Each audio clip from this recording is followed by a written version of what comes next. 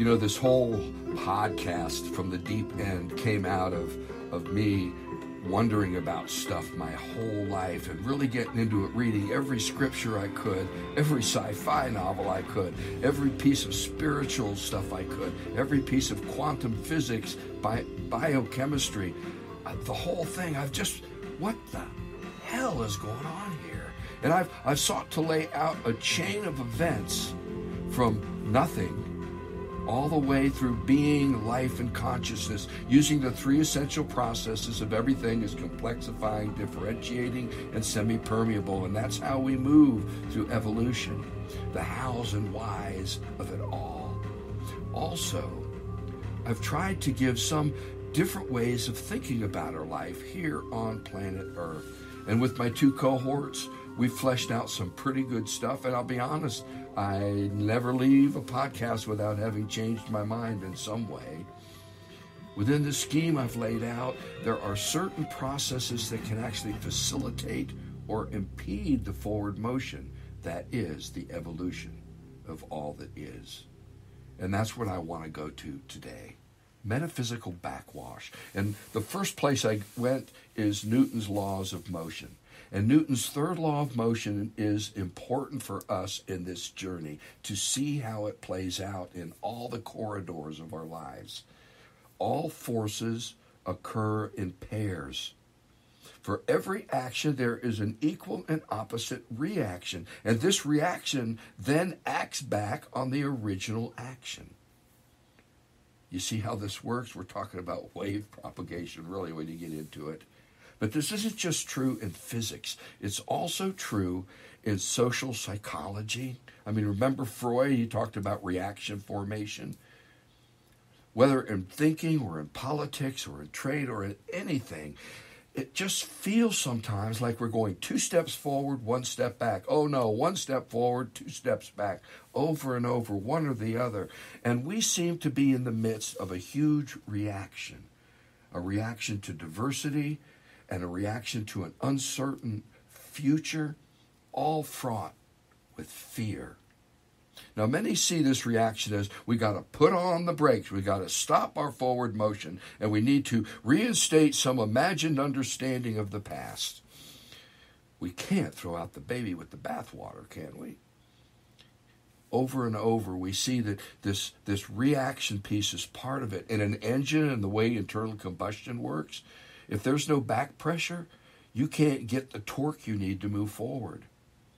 And if you, you really look, go, go by the ocean where, where there's some docks and some, some pylons, and you'll see this place where backwash is. It brings in these eddies of trash, and you can see how they just kind of keep backwashing and going into it. And I'm going to suggest that backwash is integral to the whole process of evolution. But the question is does it impede the flow or does it allow us to reflect, reconsider, and reimagine? You see, you can do different things. And right now, that backwash is causing huge rifts in the human family. The, the human family, it, it just, I mean, let's face it, the future doesn't look like the past. The, the maps many of us have been given by our parents and by the, by the past no longer fits the terrain we're in. Our young people are literally training for jobs that don't even exist yet. We've expanded the human family into a global family, and our understandings mostly go no further than trade issues or self interest, while the whole shebang is growing and groaning and screaming for us to look at the whole shebang to get over our geopolitical boundaries, if you will. You see, backwash is integral to the laws of all motion, but it can either be an evaluation event or an utter impediment to the very life we seek to grow. Backwash, reaction, it's come back now to affect the original action. Our trade agreements, our laws that we've instilled around the planet, our democracies. And what's happened, and, and I'll be honest, my greatest fear in all this backwash event that we're in is that our fears are being turned into hate. And it's happening to me too. I feel great animosity towards those who uh, uh, are, are, are, are, being led astray. And I, I, I feel bad about that, turning fear into hate. So, metaphysical backwash, it's important. And it's important to, to reevaluate. I think that's part of you know what what we've talked about over and over is this loop of reconsideration. It's a process. It's not a place we get to and that's it. The journey is our home, as some have said. So, my cohorts: Bob Hayes coming from Florida, Marianne Rudis coming from Spokane Valley. I'm here on the South Hill in Spokane, Washington, and um, I'll start with you, Bob. I just gave my metaphysical backwash uh, shotgun blast. What say you? Uh, well, and you, you could know, be a downer Debbie today, I think. oh, oh, joy! um, no, seriously. Um, I think what you're getting at in using the term backwash is is what other some other people have called the pendulum swing. How anything that occurs, uh, any uh, new idea or new direction uh, can be uh, likened to a pendulum that then swings in the opposite direction. So you, you know, a president wins an election, and then the pendulum swings, and the president's party loses the midterm election. So it it makes it difficult for he or she, she hopefully someday, uh, will uh, is able to move their agenda forward. And we've seen this constantly, you know, not just in politics, but in, in most everything else. And the question becomes how far does that pendulum swing or how how strong is the backwash uh, and how do we react to it and i think that the thing that, that we need to, to, to be careful about is overreacting when there's a reaction against something that we're supporting and we need to be more uh, calm about it. We need to be more focused. We need to be more patient. Uh, many of the things that I find difficult, uh, but it, but it seems to be a natural occurrence. You know, uh, you know, the universe is is is organized in certain ways that we're beginning to get glimpses of, and that uh, that uh, third law of, of motion, as Newton described it, uh, seems to be a characteristic that we're going to just have to learn to live with, and we're going to have to to deal with that in our plans. If we want to if we want to change policies on climate we have to realize that there's going to be opposing forces to that and we have to realize that we we have to come up with ways to deal with them yeah. And that's true for just about everything we, we encounter yeah. as human beings. And, and, and, I, and I mean, it's already part of everything. And I think, uh, you know, that mediating the reaction is, is a huge piece of it so that it impedes less and, again, yields reflection and reimagination and a whole series of those kinds of things. Marianne, what say you? Well, you know, I think, you know, we're we're faced with problems in the world and we try to fix them. And then as we try to fix them, then there's these unintended consequences that may occur, um, which is can be considered that backwash kind of thing. And so then we find ourselves in this place of okay, so what do we do now?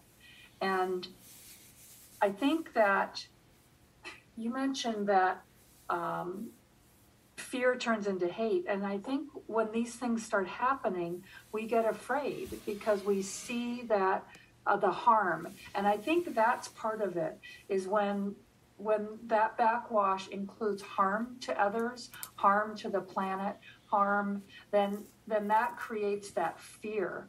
And then we start to get very militant about we need to fix this. You know, we need and we cannot we can no longer tolerate all of those different viewpoints that may not want to address these problems. And so I think that if we can alleviate the fear and and part of it, I think, is when we look over history and we see the things that have happened, and we, so when we're trying to change things now, our mind goes back to the disasters that have happened in the past.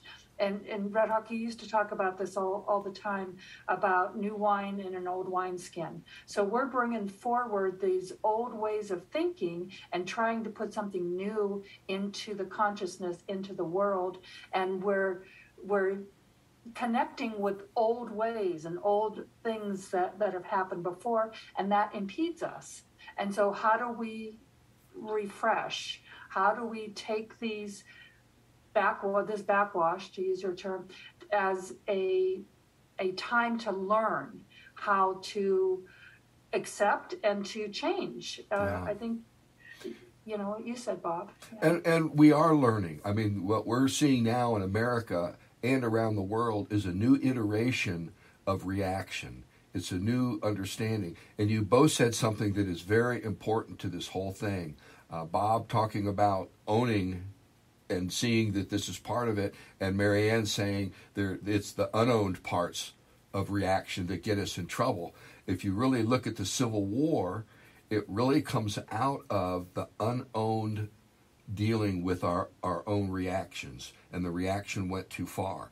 The South set itself up in an aristocratic system that was basically uh, really worked well with with London and England and you know as a colony as colonies uh, and uh, they had governors you know that were very tight with the English and what happened was the War of Independence they they still were set up as an aristocracy and all the stuff they didn't deal with ended up compounding and the reactions got reactions upon reactions and it created a whole culture that that literally allowed very brilliant people to have their thinking corrupted in such a way that even though they knew they were doing wrong, they still did it with nobility and dignity.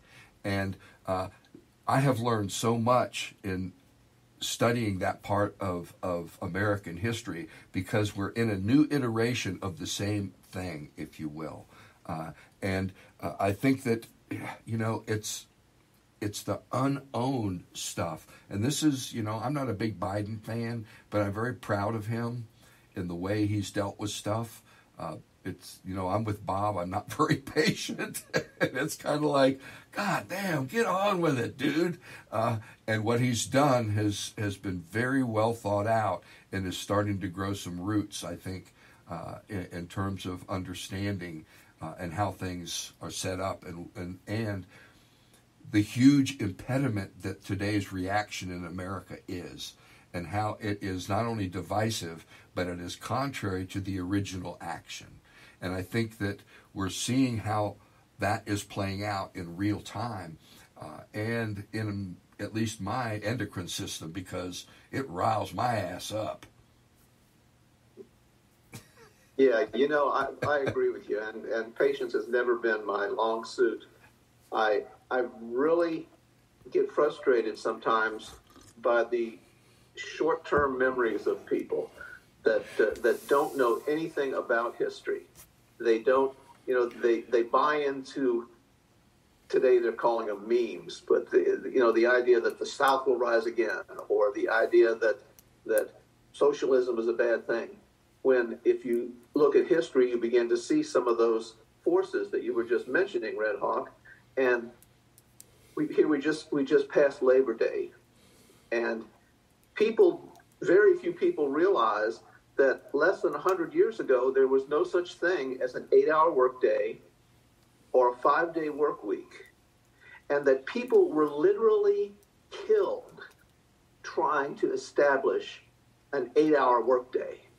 They were the the companies that wanted them to be working 16 hours a day hired thugs to beat them up and murder them. Yeah.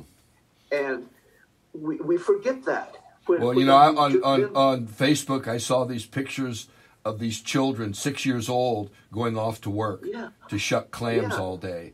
Uh, you know, so, amen, brother. yeah. I, and, yeah. You know, and how do you fight the forces that don't want to teach history they just want to teach. I don't even know what it is they want to teach. They want to teach everybody to be happy. And imagine Yeah. past. They want You to know, teach I imagined past. Go ahead, Marianne. Well, I was going to say, I think you know what you said is so true um, about the, the people's memories. They don't know, or or their their knowledge of history. You know, our rights can be taken away just as easily as they can, and they were fought for. They were people died for those. People died for women to get the vote. People died for women to choose. They, people died in the civil rights movements. People died to get labor um, laws passed, and and we forget. And so people don't. They just assume that that's always going to be, and regardless of how they vote or what their political stance is, they don't understand that those are the very things that can be taken away again. And you know, something I, I mentioned last week, I don't know if it was before or after the show or during the show, uh, but uh, the whole concept about memory and remembering and the world needing a new religion. I want to go back go back to our, our stuff on religion and God and all that stuff. The word religion comes from the root religare, which is to relink. It is to link ourselves honestly and truthfully to what has been. Uh, it is allows us to, uh, at least in my life, to read the writings of Buddha, or actually the words of Buddha. Someone else wrote them down. I can read uh, Hebrew scripture, the midrashes. I can go through all of that is religion. It relinks me. However, it has to be honest. You know, when we started being honest with the historical Jesus, you know, a peasant with an attitude, who the hell is this guy? Uh, that you, you know, something new happened. Albert Schweitzer saw Jesus as a deluded apocalyptic. Over and over, we've had to face new understandings. Now, are these the real ways? We don't know, but they're honest uh, approaches to what is a very mysterious and interesting study of ancient scripture.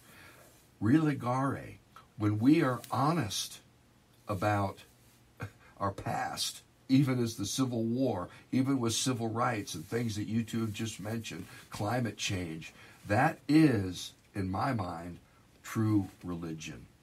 When it connects us in such a way that we move a little closer to living our lives in accord with the overall reality that is uh, life on this planet. Does that make any sense? Yeah, you know, and, and what what that made me think of is is history is happening right now. We are laying things down. And what's that saying that history is written by the victors? And so as we start to examine what we've all been taught as what is history versus going in and looking at alternative ways of, of seeing that um, or alternative voices of seeing that, it makes things really fuzzy and it makes things unclear. And I think that's part of where we're at right now. It's nobody's really sure of anything right now, and so this fear is just bubbling up um, because we want to we want certainty, we want to know, we want to feel like we're Yeah. good, we're doing the right thing. And we've always had a way, up until our generation, to look at the future as a continuation of the past.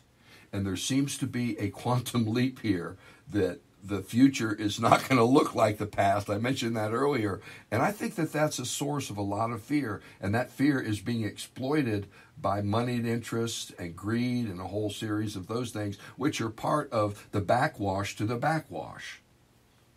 Yeah, and uh, part of that uh, idea of honestly looking at history is to take the good with the bad, or the bad with the good, and to try, as, as Marianne was just saying, to see alternate viewpoints of, of uh, different historical events.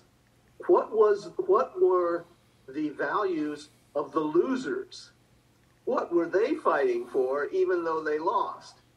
And we go back again. We, we've talked about signposts and guideposts and all these kind of things. If you go back through history and, and, and try and look at events through the lens of these guideposts that, that we, we keep bringing up uh, fairness, uh, justice, so forth. And then we can begin to say, well, wait a minute, this event, as is being taught or as, as we uh, believe happened, was unjust.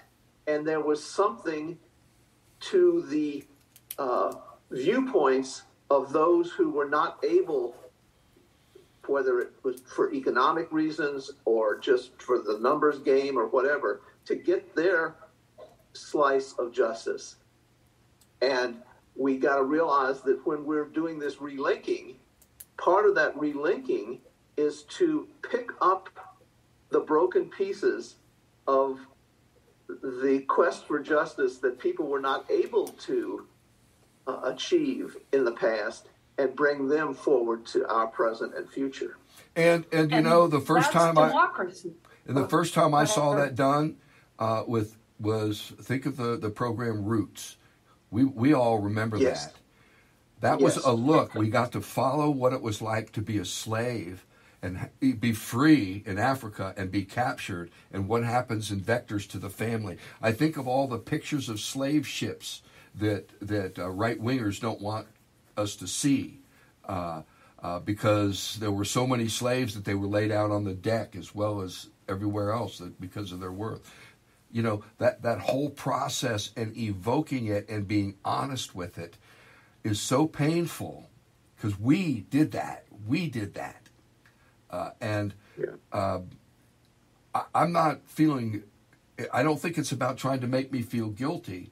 I think it's about trying to make me feel whole and complete and to, to see that to be whole and complete means that, that we have to own those pieces. In my family of origin, denial, I'm the only one that was speaking the truth, except for my mom in probably her last six weeks of life when she was on pain meds. And boy, did I get a lot of truth out of her. It was, you know, my brother and sister, whew, wow. Uh, they made they, have created provisional universes and they keep everything else out. Uh, and I don't want to do my family of origin work on this podcast, although I'm always doing my, my family of origin work. Um, but I think this whole owning, you know, I always say, as bad as crow tastes, it's better warm than cold. So eat it quick. Uh, and I, I think that part of the reaction part of us is is fraught with denial. It, it wants to, again, the way I phrased it earlier in my shotgun blast was uh, to create uh, a, a, new future on an imagined past. Uh, and we, we, we, it doesn't work. It has no well, place to stand. Know, Go ahead, Marianne. Well, I was going to say, you know, and it's not just denial that it happened, but it's it's denial of any any reason why we should even consider it because that was then and this is now and those people did some bad things but that doesn't mean we're going to do them. So let's not even look at them and let's dismiss that. And like you said we have to bring that that forward because we have to understand what human beings are capable of. And i think human rights is a radical concept. The idea of democracy, bringing democracy forward, and that every single person has rights. And that is something that we have to. Um, we have to solidify yeah. much more than than we have because they're being taken away. And and yeah, you know what one of the critiques of historians right now is they try to judge people of the past by today's standards. I right. don't think we can do that. I don't think that's fair. I think when we try to uh, demonize Thomas Jefferson because he had slaves, we forget what he was stuck in and the culture and and yeah. that whole thing. Go ahead, Bob. I, I no no no. I agree with you to up to a point. Uh, I think that we don't want to demonize history and we don't want to make people feel guilty about what their ancestors did. But we have to be honest about the fact that this was, by anyone's judgment, uh, we'll use Thomas Jefferson as an example. Yeah, he was in a society that, that condoned slavery, but still, it didn't help the fact that he forced, uh, can't remember her first name, uh, Hemings, to have his children and then deny their existence.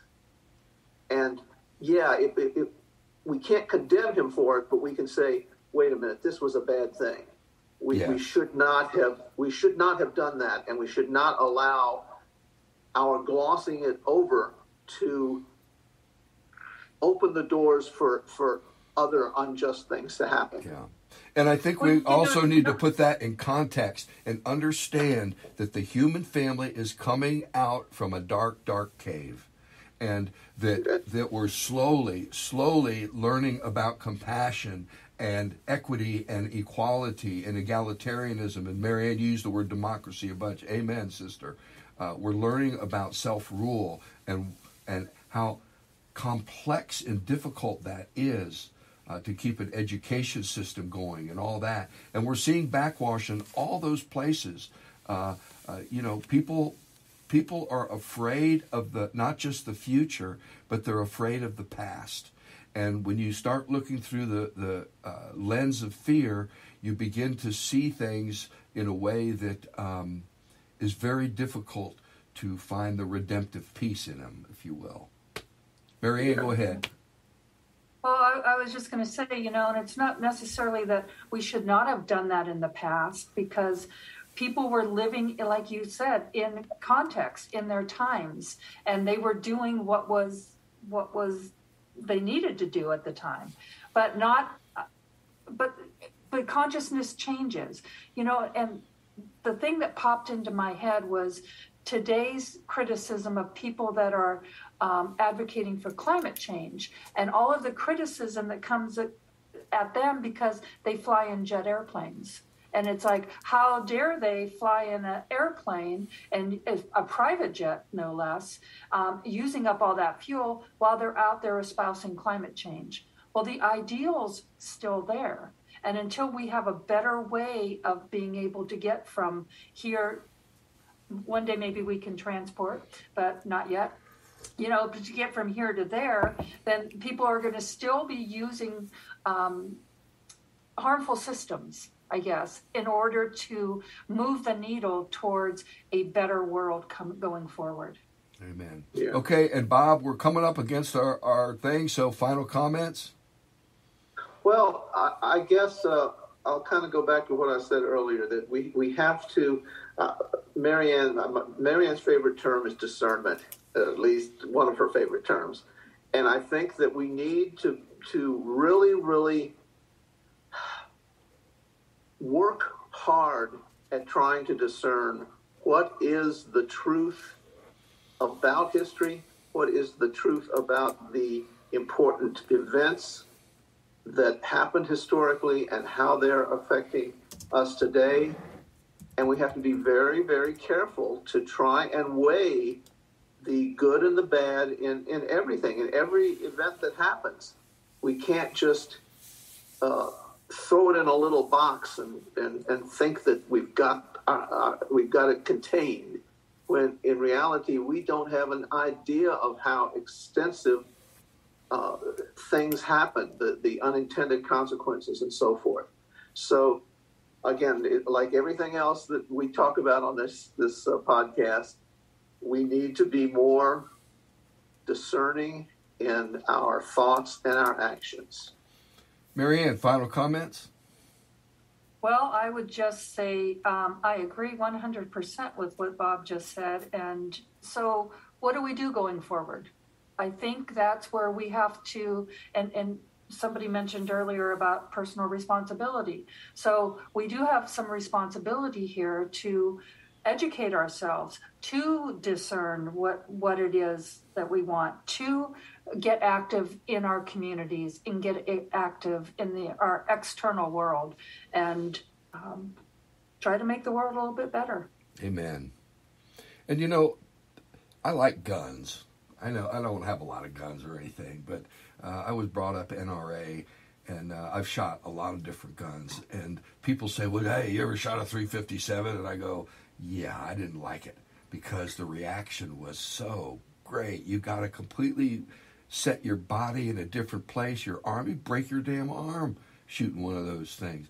You see, we have to accommodate the reaction. We have to somehow think about uh, these rockets that are going into space. They have all this thrust, but what has to happen? They have to accommodate the thrust at the ground level.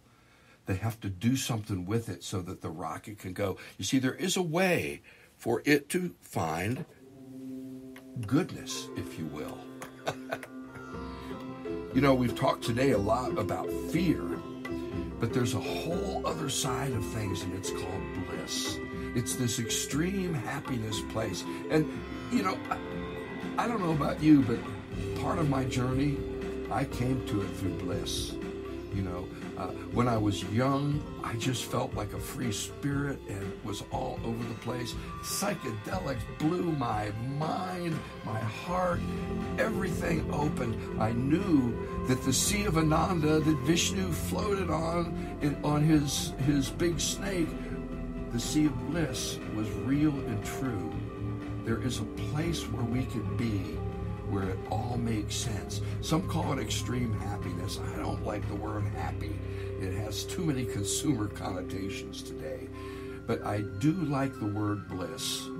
I do believe that love is a path to this place where even on the on being crucified on a cross, someone can can find a moment of this truth that is life, consciousness, and love. It's bliss. All the greats touched it and they sought to share it. All we have to do is relink. My friends, God's peace.